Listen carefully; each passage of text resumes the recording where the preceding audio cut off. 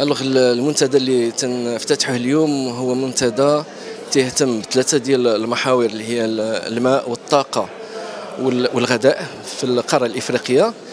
من خلال التصور والرؤية ديال جلالة الملك اللي هو رائد في ميدان التنمية آه، المشتركة في في القارة الإفريقية والمغرب اللي بقرارات ملكية تساهم في تنمية الفلاحة في في القارة عبر المساعدة في الأسمدة عبر تطوير الشبكات المائية المساعدة في بالخبرة في قضايا المياه.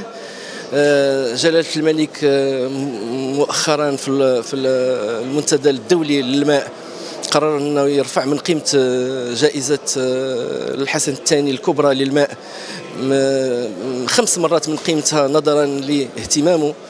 واهتمام جلالته بمسألة آه، البحث وتطوير التكنولوجيا ديال ديال المياه والبحث عن المياه.